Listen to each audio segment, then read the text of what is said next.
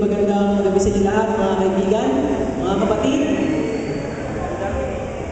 Kumusta po kayo? Ah, mas mabuti ka sa dati. sana mabuti po kayo araw-araw at sana patuloy po kayo pinagpapala ng Panginoon. Higit sa lahat sa mga napapakinggan natin gabi-gabi ng mga katotohanan na nagaling po sa salita ng Diyos. Salamat po kay Sister Conchie sa napagandang awitin na binigay niya para sa ating Panginoon. Ano po? Isa lang ang kaloob ng Diyos mga kapatid sa bawat sa atin, kundi ang kanyang mga maging lingkod. At alam ko na isa sa kanyang uh, kalooban ay tayo po ay kanyang isugo na maging iwanan sa sanlibutan. Kaya narito tayo mga kaibigan, hindi lamang para matuto, kundi kapag natutunan natin ang mga bagay na nasa mga nakasulatan, tayo rin po ay maging iwanan sa iba. Maging buhay na makasaksi na ang ating buhay mismo ay magsasalita ng katotohanan para sa ating Panginoon. Diba? So kagaya ng aking uh, sinabi kagabi, ang ating pag-aaralan ay may pinamagatang How to prepare for an unwelcome visitor and love it. Paano mo daw ihanda ang iyong sarili sa hindi kaya-kayang bisita at kung paano mo siya mamahalin? Kaya niyo?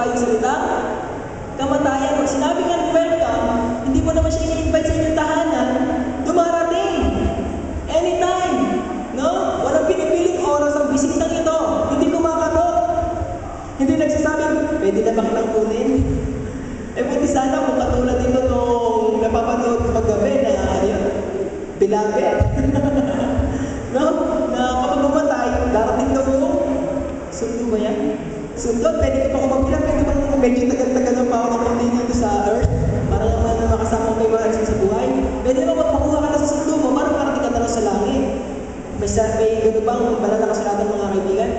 So ngayon, um, ang bisita ito, sinasabi ko, kagaya sinabi ko kanina, ay kamatayan, na kailanman hindi gusto ng tao, pero ang tanong sa atin, paano natin mamahalin ang kamatayan? Gusto niyo ba yun?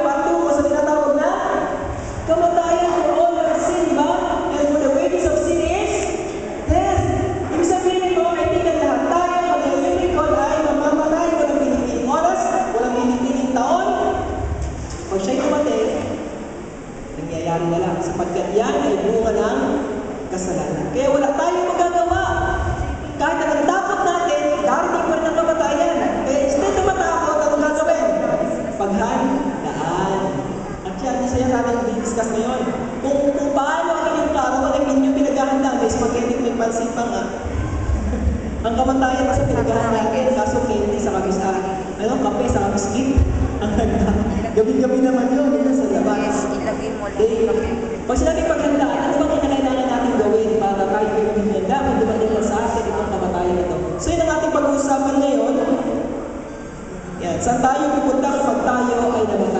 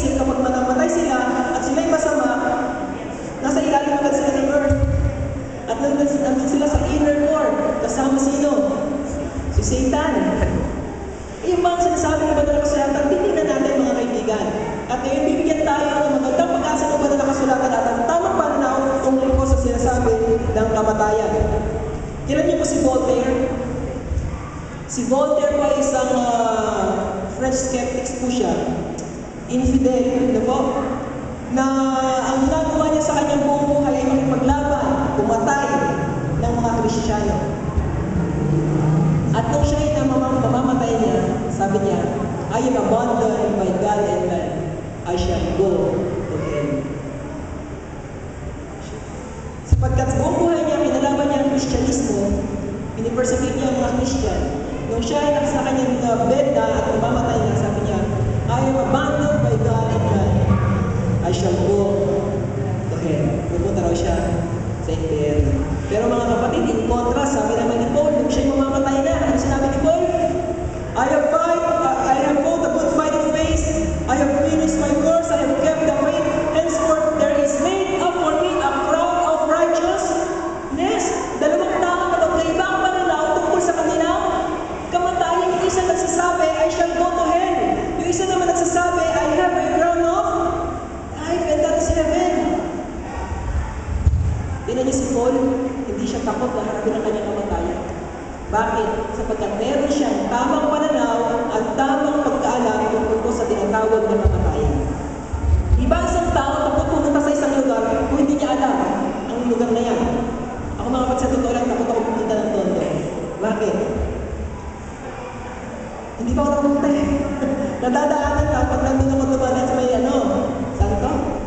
way uh,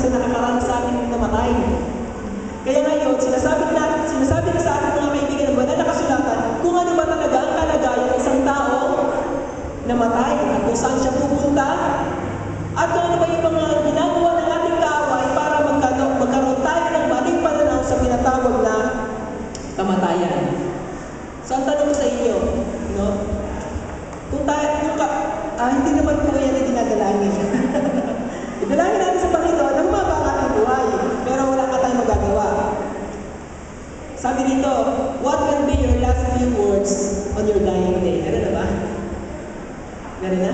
Alam nyo, nagsiserve ako sa religion eh. May mga tao pala na kahit buhay pa sila at malulusog, naghahanda na sila ng kanilang ano yun? Oh,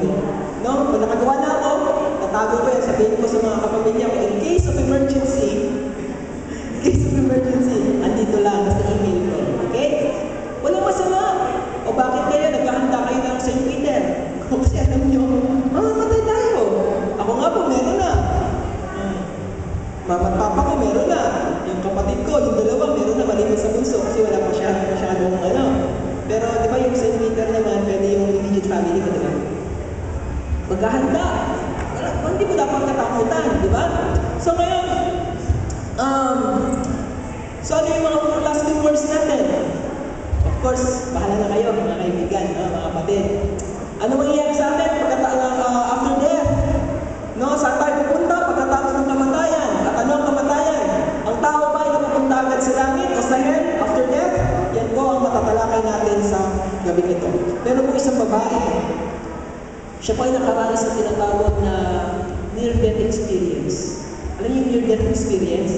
O sa Tagalog ay yung karasahang malapit na sa kamatayan. Tama ba yun? Kamuntikan. Ang usually nakakaranas na ito yung mga taong ah, bedridden o yung mga comatose, di ba, ng mga tao, na nakahiga sila sa kanilang ano, tapos may nakikita sila na parang yung sarili nila ay lumalayo sa kanilang katawan at sabi nga na itong babae na ito, kung siya ay nasa near experience, nakakita siya ng liwanag doon sa malayo, na parang yung liwanag daw na yun ay kanyang pinupuntahan, yun ay nangyari nung siya ay inooperahan. No, hindi yung near-death experience. Di ba, may anesthesia yan. So, wala kang malay, kahit parang patay ka rin. Tapos, syempre sa opera, hindi mo naman alam kung ano mangyayari sa'yo. Kaya nga dapat naglalakan yung ginagawa nila ng mga inoperahan. Pero sila waiver na wala kang managpunta ng doktor. In case na matuluyan ka. Eh siguro kung di ka siya matuluyan, sabi niya sa kanyang near-death experience, nakakita siya tinatawag na light at the end of the tunnel. Isa po ito sa aking report ng college. Ako, kung totoo ba yung mga near-death experiences na yan, na totoo ba talaga may lumalabas sa tao sa, na- sa kanyang sarili? At maglalakad patungo dun sa liwanag? At sasabihin,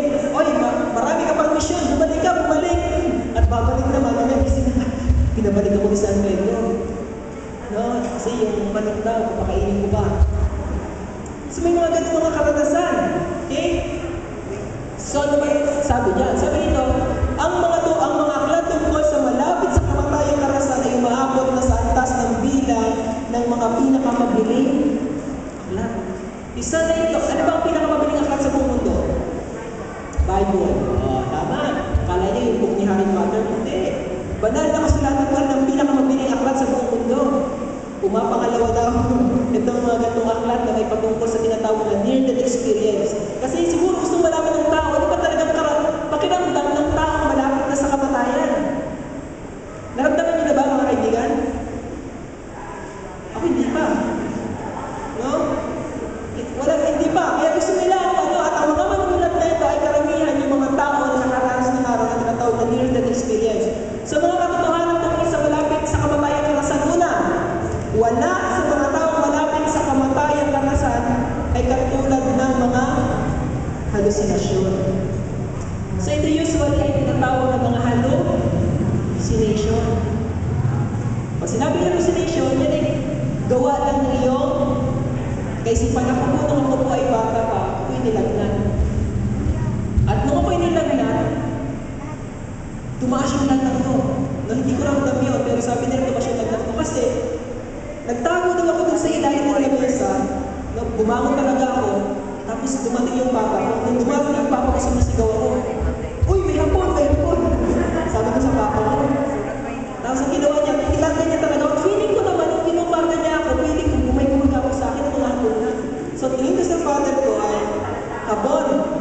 Tapos, ikinulong daw ako, yung pala pagkapag sa akin, hiniga ako sa bed, nilagyan ako ng yelo, pinunasan ako ng malamig, hinimasmasan. Pagtingin ko, ay si papa. No? Ano yun? Sa brain yun. Okay? So sabi rin mga kapatid, marami sa mga malapit sa kamatayan, kamasan ay katulad ng mga hallucination lang. No? Hallucination. Ay, nabasa ko yung isang slide. Okay, wala sa mga tao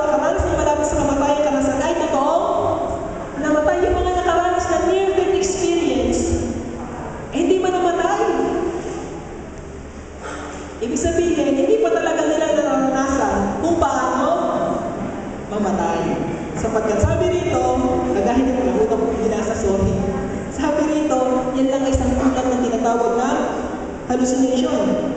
Sabi sa ni Evening Post, November 2, 1963, sabi nito, pagkatapos kumain ng isang uri ng kabuting bihika na napansin kong ako ay namatay. Sabi ng isang uh, uh, nag-post niya, na ako si Timoteo Nene ay nawala. Naka, nakakalimod ako at kita ko ang katawan ko sa kama. Yan ang sabi niya.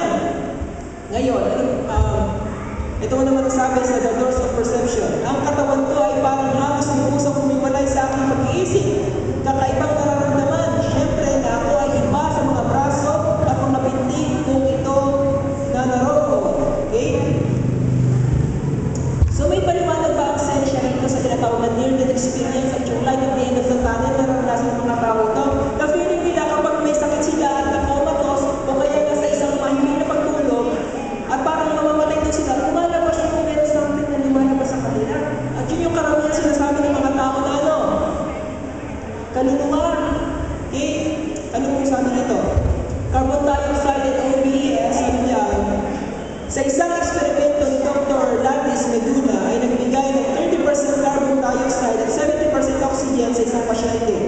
Pagkatapos sinabi ng pasyente, nadama ko na parang nakatingin akong pababa sa aking sarili na parang narito ako sa itaas na dama ko na daw, ako'y parang hiwalay. Napatunayan mga kapatid ko ng sensya, ibalik natin. Bumalik ba? Bumalik. No? Na kung bakit nangyayari yon ay sapagkat ano, merong porsyento ng tinatawag na ano, carbon dioxide sa ating utak na siya namang medyo pagbaba ng tinatawag na ano, oxygen. Kaya doon nag-uumpisa yung tinatawag na hallucination. Kaya yung mga comatose, dapat meron talaga silang oxygen. No? Para hindi sila nakakaranas ng mga tinatawag nga nila near-death experience. So sa ibang salita, hallucination. Napansin niyo na ba paubusan kayo ng oxygen? Alam niyo, meron ginagawa ng high school kami, delikado pala yun. Sabi na, sabi ko kasama ko, Junel, gusto mo makatulog kahit saglit lang. Hindi ko na inulit yun eh, pero nagpatry ako. Yung ihinga ka ng malalim, pag hinga mo malalim, bigla nang ipupush yung dibdib mo. No? Puputulin yung, ano yun? Ikaw din. Puputulin yung supply ng oxygen mo sa brain. Ay mga kapatid, talagang pagkatapos bagsak ako. Pero wala pang ilang segundo nagising naman, kasi ang lamig ng pakiramdam ko, pinagpawisan ko, lamig na lamig. Yung pala, yung oxygen, pinutol. Sabi ko, masama yan. Ako, pag natuloy ako, nag-face naman yung mga papa ko. No? So, ganun ang kapatid, kung bakit minsan nagkakaroon tayo ng hallucination, ay yung ano, kulang na ano, supply ng oxygen sa ating katawan. At nangyayari yung madalas kapag ang tao ay hindi po ah, balanse o gum- o gumagana ang kanyang sistema ng maayos. Lalo na kung siya ay may mga karamdaman o uh, disorganized ang kanyang system, katulad ng mga may lagnat o kaya may masakit. Yun. Okay? Tuloy tayo.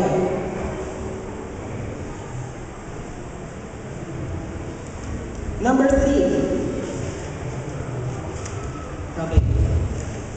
Ang mga labas sa katawang malapit sa kamatayang karanasan ay ano? Salungat sa banal na silatan. Hindi totoo mga kapatid ko na kapag ang tao ay malapit na mamatay, lumalabas yung ano, kaluluwa sa kanya. Alam niyo, dami palabas na ganyan na yung Rachel, no? Kaya nga yung sinasabi ko mga kapatid, yung dabilayo is, uh, nandiyan na yan eh. Nang alam ko, sino mo nanonood yan?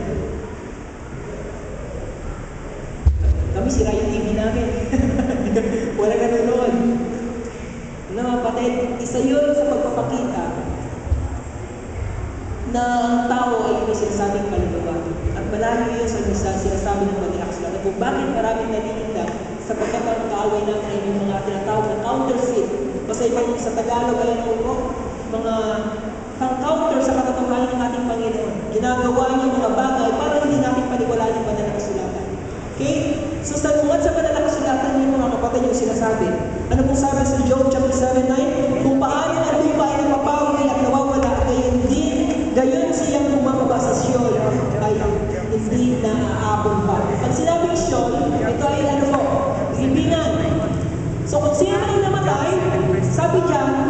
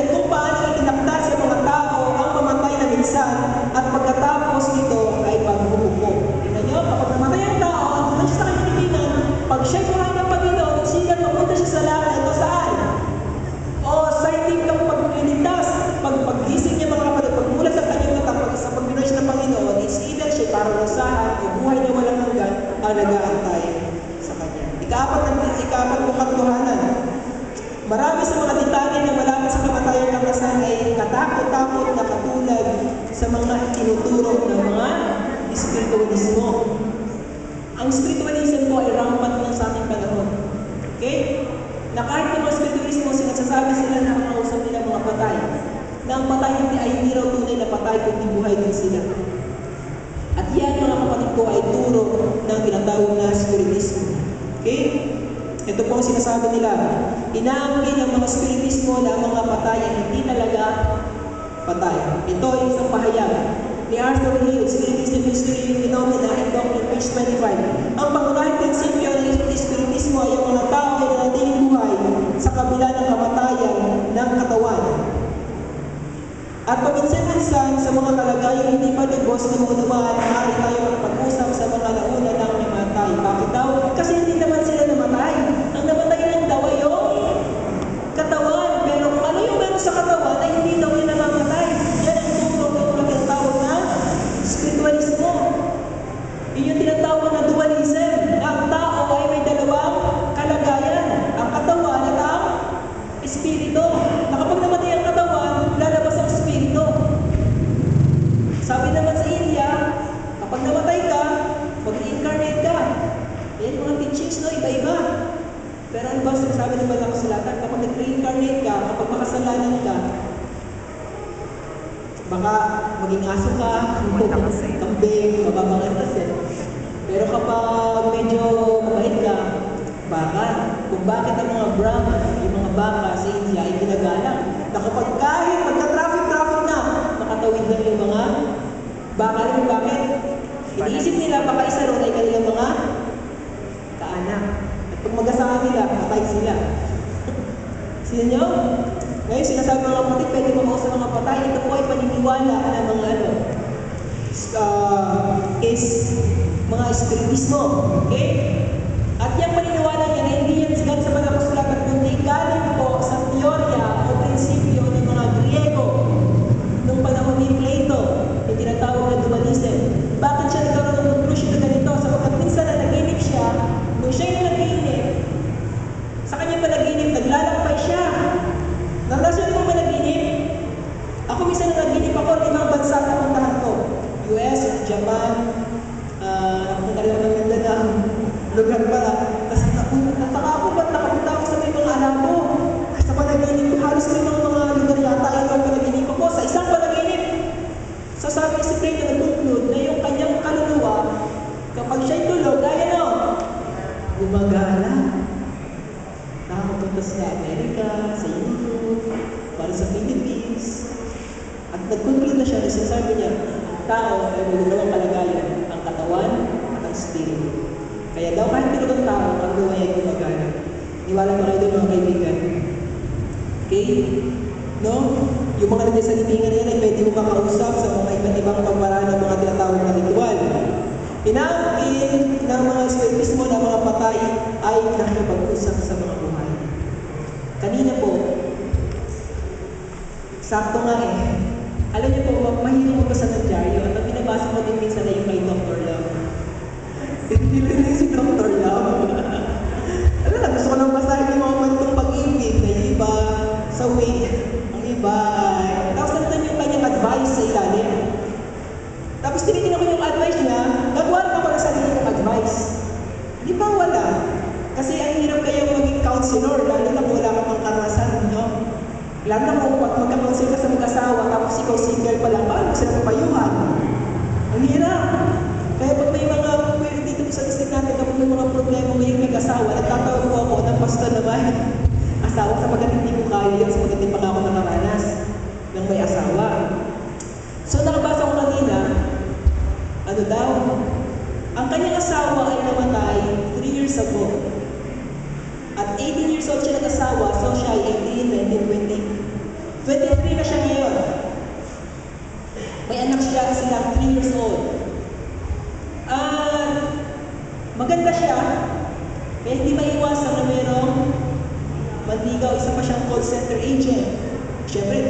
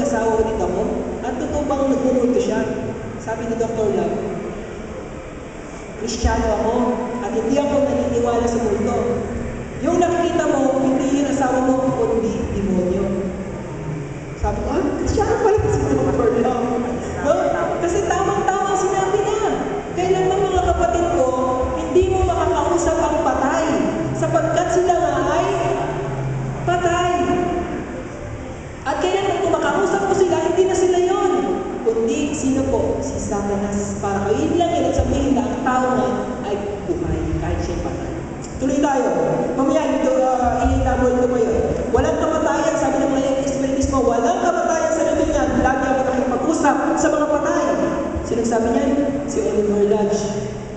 Nakakusap niya yung mga patay. Sino kaya kausap niya? No?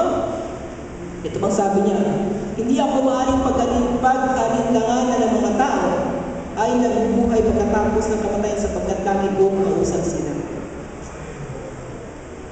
Tingnan niyo mga kapatid, pagdilingan ng kaaway.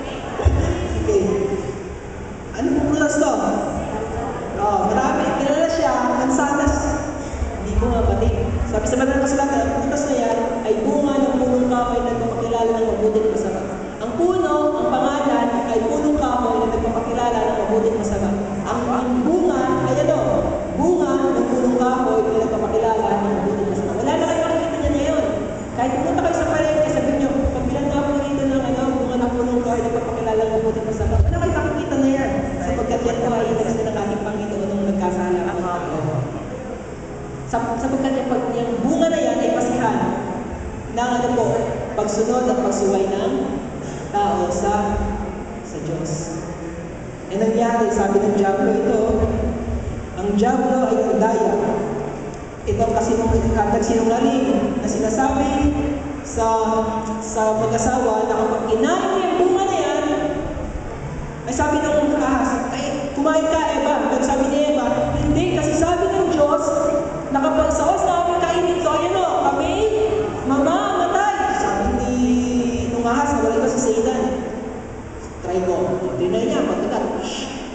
siya namatay. At sabi niya, pag hinain yung pantawan, magtutulad kayo ng Diyos.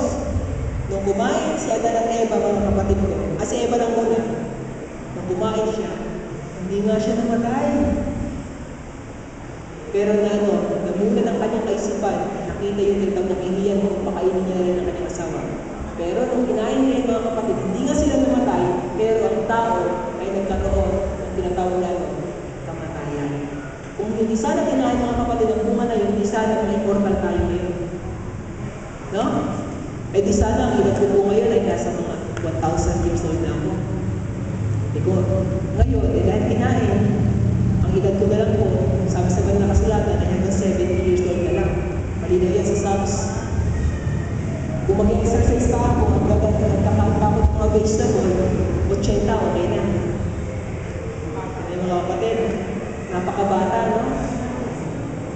kasinungalingan na sinabi ng kaaway mga kapatid sapagkat ang tao ay nagkaroon ng kamatayan.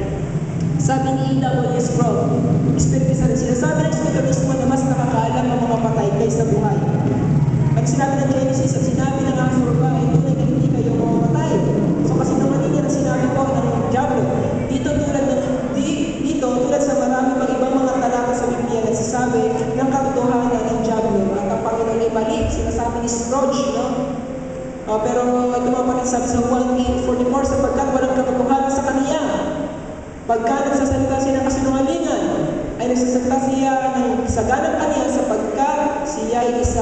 natin ang laman nito. Ang tinutukoy niyan mga kapatid ay ah, ang Diablo, walang iba si Satanas. Sa Apocalypse 14, sapagkat sila yung mga spirit ng demonyo nagsisigawan ng mga tanda.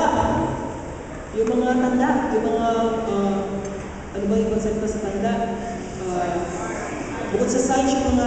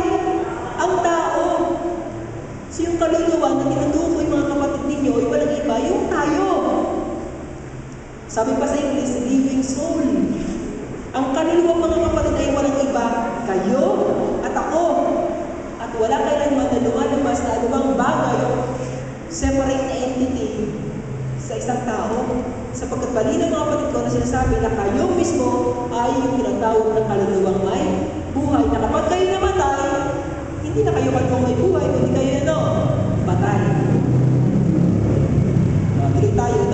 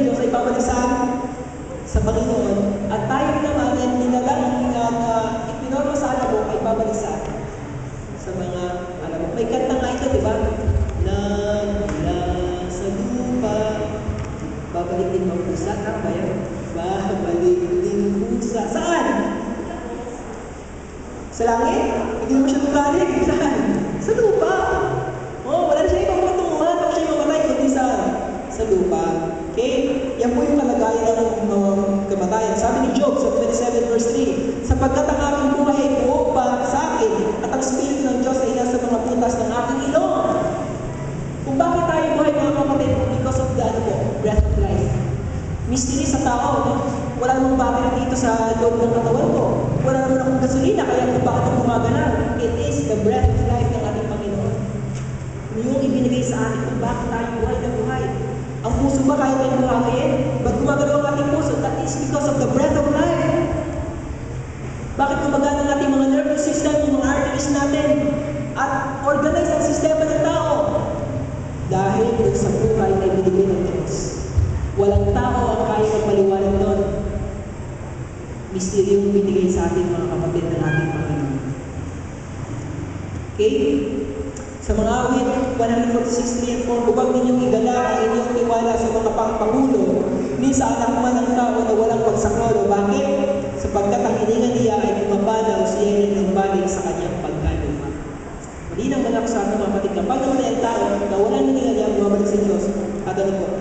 Bumabalik ang tao sa lupa. So buhay na nila, minus hininga ng buhay, ano, sangkap ng lupa. Sa halimbawa ito, okay, yung, uh, yung kahoy na yan, okay, pansin yung kahoy, pag binuo siyang kahoy, ba't ang tagal Nabubuo siyang kahoy, pero pag kalas-kalasin mo yan, babalik din siya saan? Sabi ng kahoy, walang lalabas na dyan. Kaluluwa ng kahoy. no? Baka yung karpintero matakot, pati kahoy, may kaluluwa pala. Kung paano kahoy ang ginawa sa pagkakahoy niya, ang maging kahoy, ang kahoy kapag nasira ay bumabalik saan? Sa kanyang pagiging kahoy. Okay. Ano pa mga pwede natin sabihin tungkol sa uh, kamatayan? Sabi sa Ecclesiastes 9.5, sapagkat nalalaman ng mga buhay na sila ay namamatay, ngunit hindi nalalaman ng patay ang mga ibang bagay. Kaya pag ang tao ay namatay, nasa dabihan siya at wala na siyang alam kung ano ang nangyayari sa sanlibutan. Kaya kung bakit meron dumadalo sa inyo at nagpapakita, hindi na yun ang inyong mga kamag-anak kung sino man. Sapagkat sabi sa kanilang kasulatan, wala na nga silang alam. No? Ito pa ang sabi, oh. Ang patay ay hindi na pumupuli sa Panginoon, hindi sino mang nabababa sa katahimikan. Hindi nga sila bang pagkakalati sa Panginoon sapagkat sila ay patay. Ang tanong, Pastor, sino po yung nakikita ko? Minsan yung father ko, alam mo sa probinsya, sa lungkod sa amin, nung kanyang kapanahunan, ang, tra- ang mode of transportation doon, alam niyo na, bangka at Cadillac. O, ganda ng transportation sa amin, no? Kadilakan. lakad. Kasi wala talagang motor, walang tricycle. So, lakad at bangka. At ang sementeryo sa amin, mga kapatid ko, hindi mo pwedeng lakarin. Pag nilakad nyo at inilibig nyo yung kaanak na walang karo o yung ano, sasakyan, abutin po kayo ng mga apat na oras bago nyo mapunta yung libingan. Baka yung mga nagdadala ng kabako, mamatay na rin sa pagod. Ano gagawin? Isasakay ng bangka. Kaya pag nakakita kayo ng mga bangka sunod-sunod ron, at yung unang bangka may flag na itim, asahan nyo na yun, ano yun? Funeral procession na sa dagat. Okay? Para itabi doon sa kabilang uh, baryo na nandun yung cementerio. Nung panahon niya, ang ligtas hindi na. May kalsada na, maayos na kalsada sa akin kaya, kaya padali. Sabi ng papa ko yung kanyang sa mga mag-anak ay namatay. So, sa madaling sabi, nilibig na. Nilibig na. Kilala niya yun eh, kamag-anak niya. Di bumalik na sila sa kanilang bahay at sila po ay andun siya sa, sa, sa sala at ako yung kanyang mga kaanak na nawala nung kamag nung kaanak niya ay nag-iiyakan sa kusina talagang umiyak. Eh yung father ko, andun sa sala,